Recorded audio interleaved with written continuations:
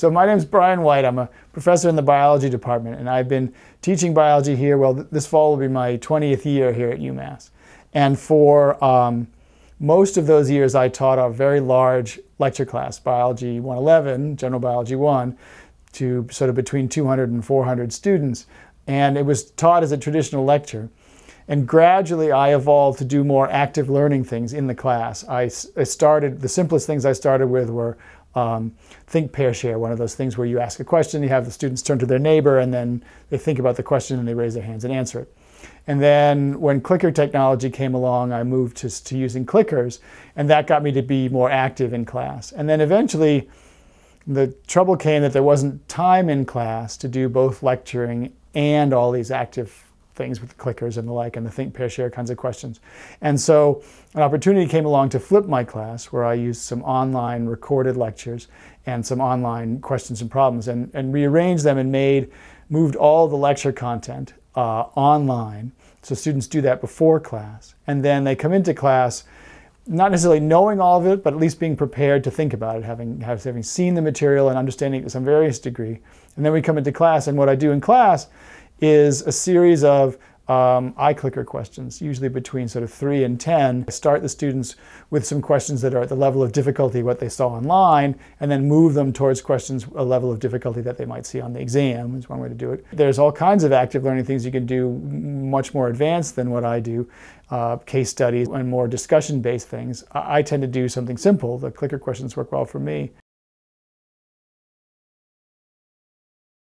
There's a number of advantages. One of them is that there were definitely times when I felt like I was just reading things into the record, just saying this bunch of stuff. And that, that's not a very good use of mine or my students' time.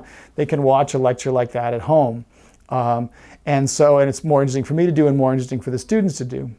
Also, there's a whole lot of evidence that's been collected, especially in science, that if students are actively involved, so after, after they learn something, if they then have to use it in some way, they learn it much better.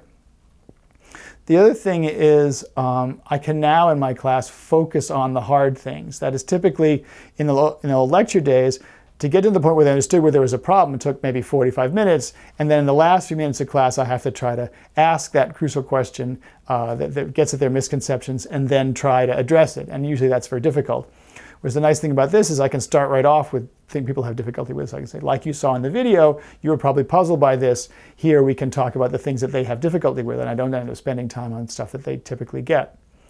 And another advantage is also that you probably had the experience as a lecturer that, you get to the end of the lecture and there's that one question you'd love to ask that ties all the pieces together. And uh, you, it's either right after the end of time, you don't have time to ask it, or everyone's closing their notebooks and so you don't get a chance to ask it. But the nice thing about this class is you can spend with a flipped class, you can spend the whole time asking those really important questions that get students really thinking about stuff they have trouble with, the stuff that they really need to get. And you can leave this sort of content presentation uh, into the online materials.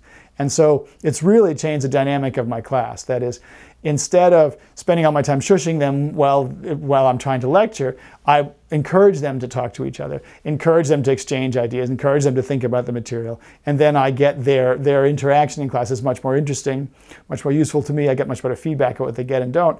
And the students leave class with this sense that they understand the material because they've actually used it in, in a concrete way in class.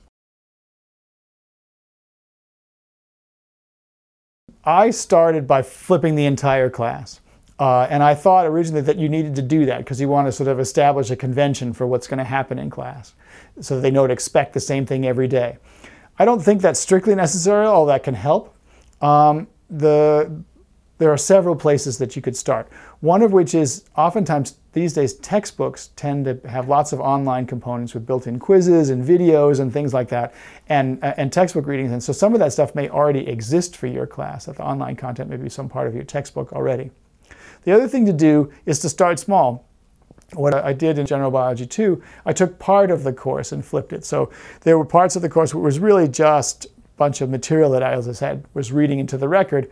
And so I made those, I took the uh, lecture capture that, that the university already records, so that was already in the can, and I chopped those up into smaller pieces and interspersed them with some sort of test yourself questions and made that, put that on Blackboard. And so then for those classes, we just worked on the hard parts and, and just flipped those. That, was, that worked well, not quite as well as doing the whole class, but it's a good place to start. Another place to start if you want is to start at the other end, which is start with more active learning, to take your regular lecture and start to sprinkle in questions um, that you might have the students think about after you've presented a little bit of material, because there's a ton of evidence that shows that that's very useful. And what you can do then is if you've got the lecture capture from that, after you've added questions to your lectures, is you can take your lectures now and chop them up and, and take the lecture pieces like say right up until when you ask the question, you put that on Blackboard, and then you take the question you ask and you put that on Blackboard, and then you break it up like that, little video question, video question, and that can help you to flip too. Um, so there's a bunch of different ways. There's the textbook, there's um, flipping small parts of it, and then there's also starting at the active learning end and building those things in, which might be a way to get you started down the road. So the material I used um, the online material was part of a MOOC actually. And so about a half, or perhaps two thirds of the videos were actually sort of professionally shot and as part of this MOOC that I edited. The thing you want to be careful about when you're putting the online materials together is in order for it to work well, you really have to put a lot of thought into what parts of the video you include, what questions you ask afterwards, and, and, and, how you follow up. Very important not just post the video and tell people to watch it, because they won't have a good sense of what to get out of it. You need to be you need to guide them in their video watching. And so my view, the questions, although technically speaking, that's where they get the points. You don't get points for watching the video, you get points for answering the questions. So one small goal for the questions is to make sure they watch the video. The more important goal, though, for the questions is to give the students a sense of what they're supposed to get out of the video. So the, there's a guide for watching the video. What are the details that are most important, right? And the thing that one student gets watches many times can be different than another, and they can do it in a very time flexible way. So the students, we asked the, asked the students for some feedback, and the things, one of that was one of the things they particularly liked uh, about the way the course was structured. And I asked the students, what, what do you think I should do? You've seen the course taught, taught in this flipped way. You've seen courses taught in conventional ways. What should I do next fall with the next crop of Bio 111 students? And overwhelmingly, they were in favor of the flipped class. Um, that was sort of the people who said definitely do it uh, the, the, flipped way were there were about 10 times more of them than there were of people who said definitely do it the old-fashioned way. Um, and again, they liked it for reasons having to do with uh, the online videos and the, and, and the way it got them engaged. And in fact, it's interesting because I saw them in the next semester's class, which wasn't flipped, and they missed the online materials because it gave them a structure to their studying, especially in the freshman class. I don't think the students necessarily know how to study, and what the students gave them a structure and a, a format for studying that, and so they felt like they were keeping up with the class. Um, and it gave them an opportunity to, to know where they stood because as they practiced with the practice problems online, they could see whether they're sort of getting the material they're supposed to get.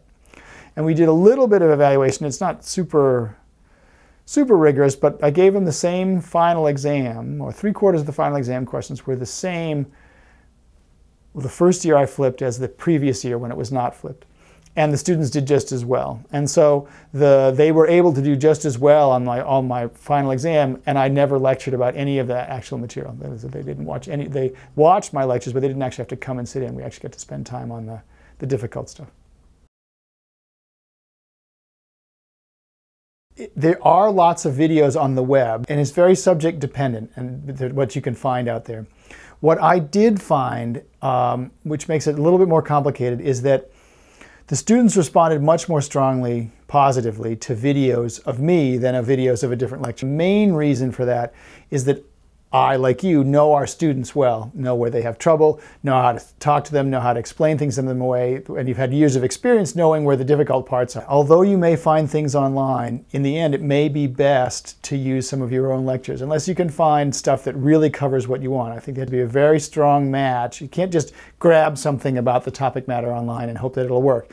You really have to vet it and make sure it's good. And so for me, it turned out the stuff that I did was the best.